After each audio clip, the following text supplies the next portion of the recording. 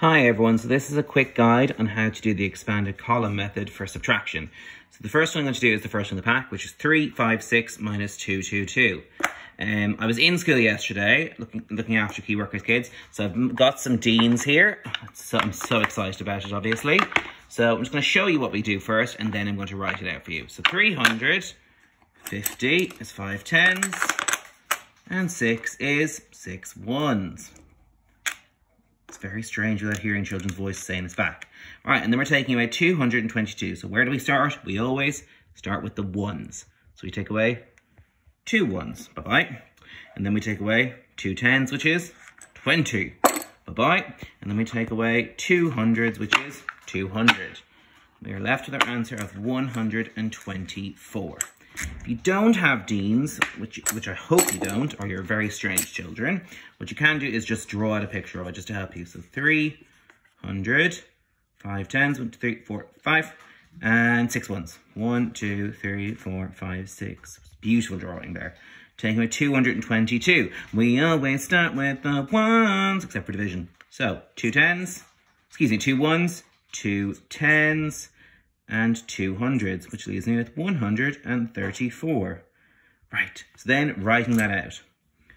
300, now we don't write plus because we don't want to confuse ourselves, we write and 50, say with me, and that's it, thank you, anyone who responded, and 6, minus 200 and 20 and 2.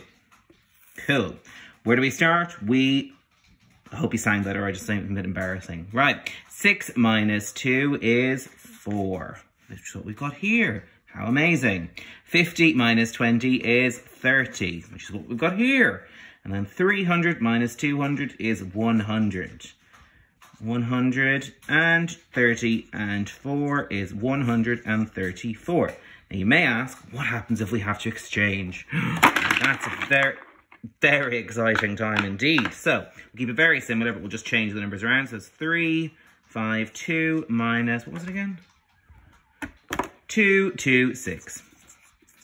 Okay, so I'll just draw it again to keep it simple. 300s, 5 tens, 4, 5 and two ones. Now I'm going to take away six ones. But no, I can't do it. So I cross out a 10 and I draw in my 10 ones. I'm going to exchange two, four, six, eight, 10. Fab. Now I'm going to take away six ones. One, two, three, four, five, six. Fab. So we've got six ones left. Lovely. Now I'm going to take away two tens. Easy. That bit's grand. No worries. Uh, and then I'm going to take away 200. So I'm left with 126. Let's write that out. So, 350, because we don't want to write plus or we'll confuse ourselves. 50 and 2, excuse me, I forgot what I was doing.